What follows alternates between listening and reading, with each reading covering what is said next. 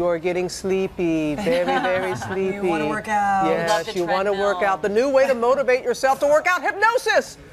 But can you really be hypnotized to exercise? Deb Roberts is here with all of that. Good morning, Deb. Good morning, Robin. Yeah, you're right. It sounds like a lot of mumbo jumbo, right? You've fallen off the wagon and you're going to get back on the exercise track by getting sleepier and sleepier.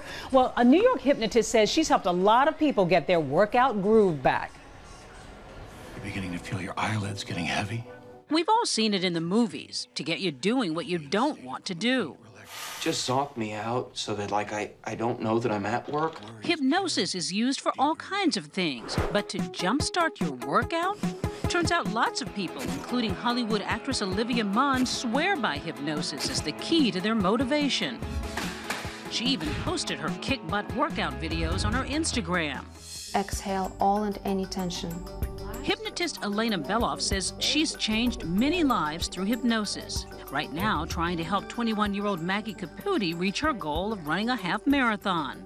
Can hypnosis really help get you to the gym? Uh, yes, absolutely. You are in a trance-like state, in a very relaxed, dreamy-like state. You can see yourself exercising and you can see yourself getting the benefits, so your mind gets excited by it. One of her clients, 42 year old Kevin Johnson, says he went from chain smoking to pumping iron. every day after work, instead of getting a snack or having a cigarette, I now just go straight to the gym. Now, 15 pounds lighter, Kevin feels great. Hypnosis has put a positive spin on my life, so I look forward to living a healthier life. Believe it or not, even the American Psychiatric Association gives hypnosis a thumbs up, but some are quick to caution it's not a magic pill. Hypnosis is not going to be a magic bullet to get somebody to get healthier, eat better, work out. Beloff acknowledges that real workout results come from discipline and hard work, but says hypnosis may help you get there. So when will you go uh, exercise? Tomorrow morning at 5.30. 5.30, wonderful.